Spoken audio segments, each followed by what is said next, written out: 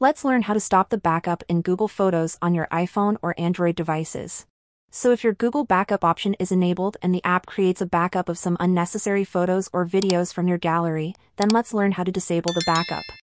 It's really easy to do it, and the first step that you want to do is to open the Google Photos application on your device and make sure you are logged into the account on which you want to stop the backup.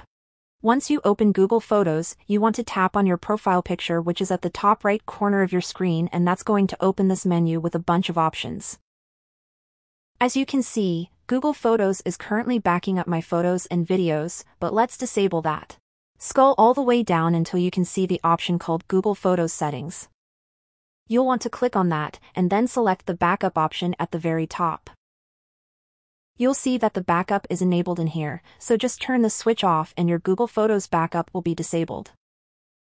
Now keep in mind that, if this is turned off, your photos and videos will stop backing up automatically to Google Photos so you will have to back them up manually if you want to create a copy and keep your media in a safe place. You can always enable the backup at any time if you change your mind, but that's essentially it.